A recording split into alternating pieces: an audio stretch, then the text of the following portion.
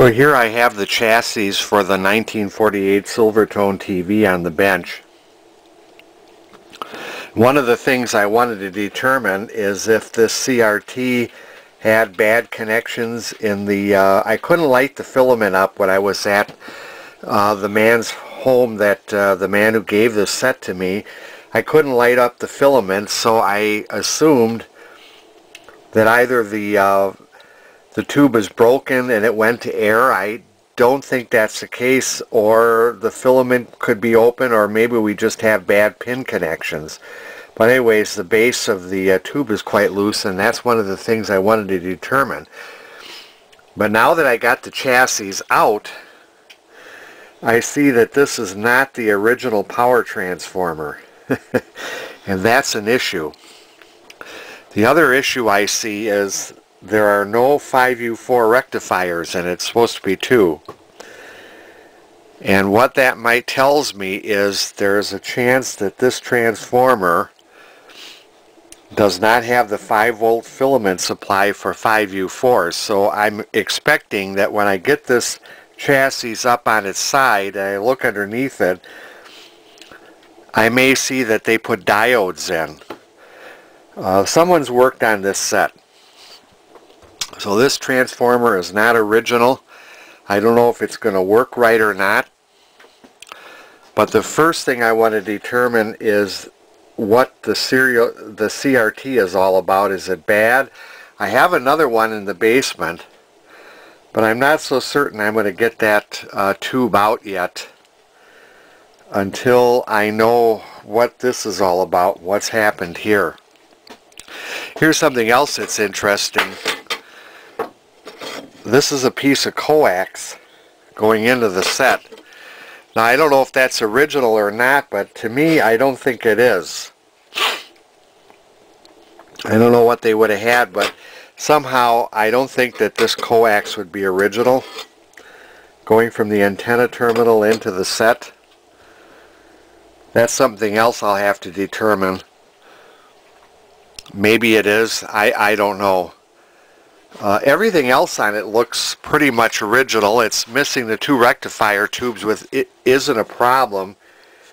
I just wonder when this transformer was put on and what the results of that was.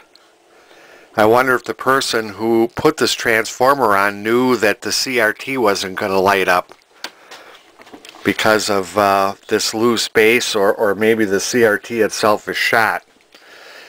I wonder if they put diodes in because this transformer doesn't have a 5 volt uh, filament supply for the 5U4s. Uh, many things to, to, to try to figure out to see what they might have done with this set. And uh, at this point, depending on what I find with this transformer, at this point I'm not sure, I'm really not sure just how restorable this set is. If I see too much wrong, I may put it back together and may just uh, let uh, the person who gave it to me know what I found. He wanted to see me restore it. What I would like to do is put the proper transformer on so that I could put the prop, proper rectifier tubes in.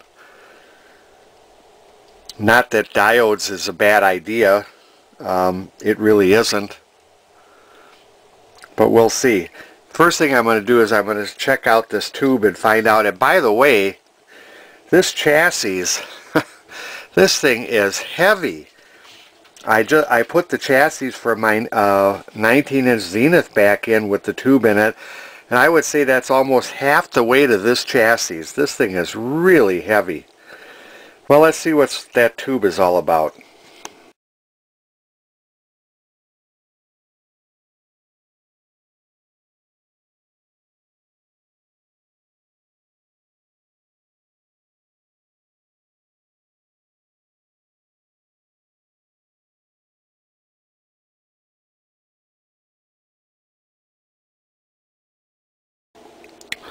I got the tube filament lit.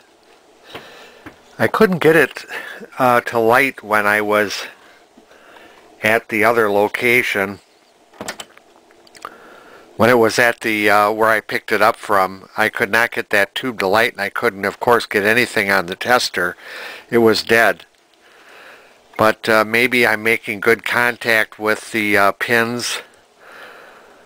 At any event, uh, I do have action out of the CRT, and uh, if I go to cutoff, I'm at the low end, but within the range of what they say is good then emissions go just in the low end of good.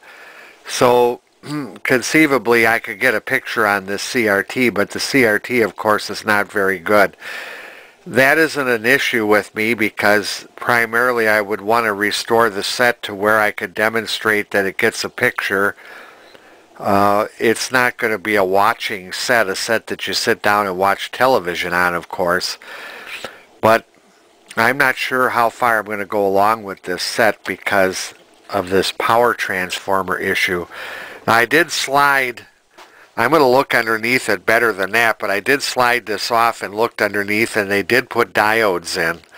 Uh, they have a couple of uh, uh, diodes in. The other thing I noticed is uh, this transformer apparently does not have a 6.3 volt filament supply. So I saw this little tiny transformer underneath for all these filaments. So that transformer, if it worked at all, must have been cooking pretty hot to supply uh, uh, 6 volts to, uh, to the whole set, 6.3 volts. So I'm making a judgment call here. Here I've got this very low emissions CRT. Now I do have in the basement in an RCA I made a video on that one. Uh, it's got a lousy looking cabinet on it, but it's got a fairly decent 10 BP4 tube in it. And it may even have a usable power transformer. Uh, that that one, of course, would have a transformer that supplies the uh, 5 volts for the uh, 5U4 rectifiers. I think what I'm going to do is I'm going to make a determination. I'm not going to go ahead with the restoration on this set at this point, and for the simple reason that it's been worked on. I don't. I'm gonna. I'm gonna get the setup on its side somehow and take a look underneath, but to see what else has been done to it. But with that power transformer uh, having been replaced with that transformer, and I could see this little little bitty uh, filament supply transformer for all of these tubes. I don't know if I want to go ahead with this until I find the right transformer for at least a transformer that gives me the proper B plus voltage, the 6.3 volts for the filaments, and the 5 volts for the rectifier. So I'm not going to, at this point I'm not going to go ahead with, uh, uh, I'm going to probably pop this back in, in the cabinet and, and um, as it warms up, the CRT gets a little bit better, but like I say, I'm not so concerned about that. That CRT will at least give me a picture, um, like the other set that I just worked on. You know, it's not the best picture, but it's it's one that I could demonstrate that the set works, and that's what TV looks sort of looked like in the 50s. Well, this is 1948. So uh, I'm going to take this heavy, heavy thing and put it back in the cabinet, I think, and then go on to something else. I had hoped to be able to to show the uh, person who gave this to me the restoration progress on this.